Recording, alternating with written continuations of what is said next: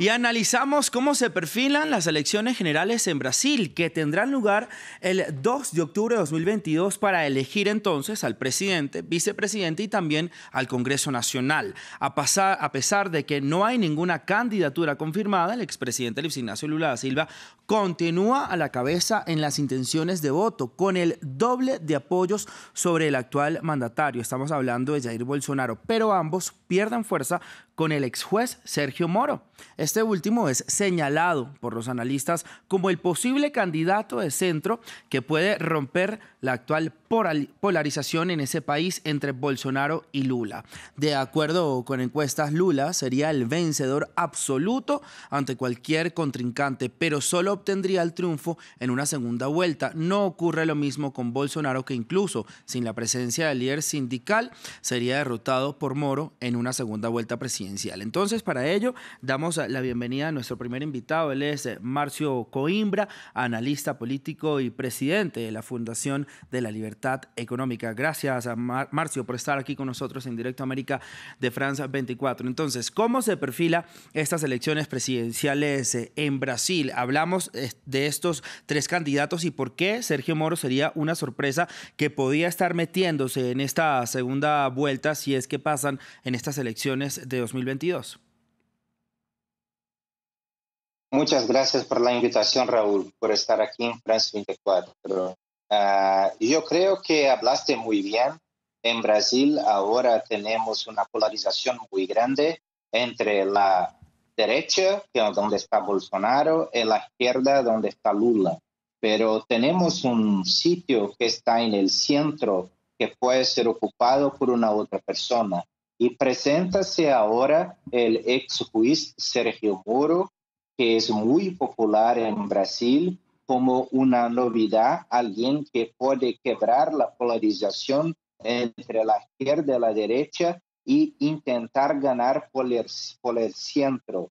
Tiene en las encuestas ahora algo como 10%, 11 o 12%, depende del instituto uh, que, que miramos con los resultados pero Lula está adelante y Lula seguramente va a estar en la segunda vuelta. Hay una disputa ahora en Brasil, Raúl, para saber quién va a disputar la segunda vuelta con Lula.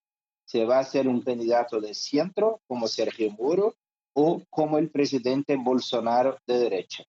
Marcio, ¿cómo está, hablemos del presidente Bolsonaro, cómo está la popularidad del mandatario? Pues hablamos también de la pandemia, eh, con, la gestión de su pandemia que no ha sido eh, bien vista eh, por mucha parte de la población, también hablamos de la deforestación de la Amazonía. ¿Cómo está la, la popularidad de Bolsonaro en este momento? La popularidad de Bolsonaro no es buena.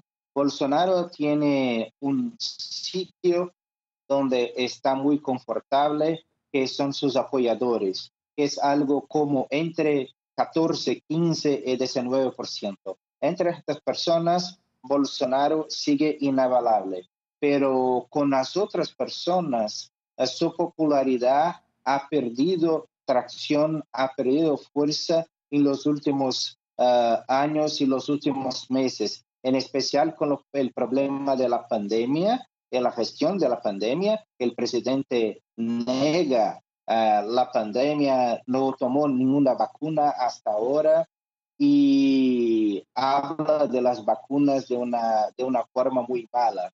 Y su popularidad no es muy fuerte, no está sólida entre el restante de la población. Hoy cerca de 60 a 65% de las personas rechazan al presidente. O sea, el presidente no puede elegirse con eh, este rechazo de 65% de las personas. Por ejemplo, si tenemos Lula en la segunda vuelta con Bolsonaro, Lula gana con mucha facilidad. Y creo que Sergio Moro también se llega a una segunda vuelta con Bolsonaro, ganaría pero como dijo antes, ah, en la segunda vuelta seguramente tenemos Lula y hay una disputa por el, segunda, por el segundo puesto en la segunda vuelta que sería entre Moro y Bolsonaro. Es posible que Moro gane de Bolsonaro en la primera vuelta y que va a la segunda vuelta con Lula. Marcio, le pregunto ahora cómo se comporta el electorado de Brasil. En el caso, entonces, si tenemos estos tres candidatos para disputarse la presidencia el año que viene, ¿hacia qué parte de la población tendría que apuntarle para tener más apoyo social? ¿Cómo además quedan los jóvenes en esta próxima votación eh, general en Brasil? Los jóvenes eh, se sitúan ah, más a izquierda pero hay en Brasil siempre una, una, una parte de los jóvenes que están más a derecha, en especial en los últimos años con la ascensión de la derecha en Brasil.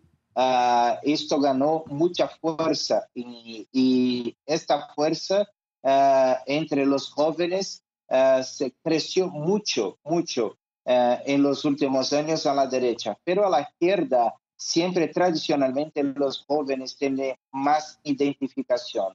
Entonces, yo creo que para estas próximas elecciones, los jóvenes tendrán una, una, una, una situación muy peculiar porque van a tener entre derecha, centro, pero van a tener un candidato de, de, de izquierda de vuelta que es fuerte, que es Lula. O sea, me parece que Lula viene muy fuerte entre los jóvenes. Ahora, Marcio, ya para terminar nuestra conversación de cara a estas elecciones generales de Brasil del próximo año, ¿cuáles son los retos que, que tendría el próximo mandatario brasileño, como está actualmente Brasil, en tema político, social, económico?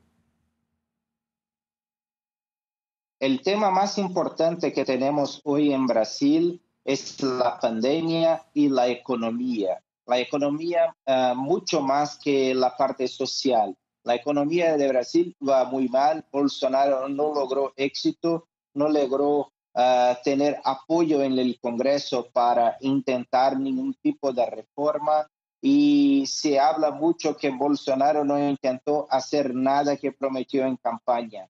Entonces la economía de Brasil está muy suelta y va muy mal va muy mal porque las tasas de interés van a muy altas, como una de las más grandes del mundo, y la inflación es muy fuerte ahora en Brasil. El poder de compra de la población está muy bajo, la gente está perdiendo poder de compra, la inflación de los alimentos es muy fuerte, mucha gente en la extrema pobreza y esto agrava un problema social. O sea, el social como consecuencia del problema económico. Yo creo que el desafío mayor para el próximo mandatario es la economía.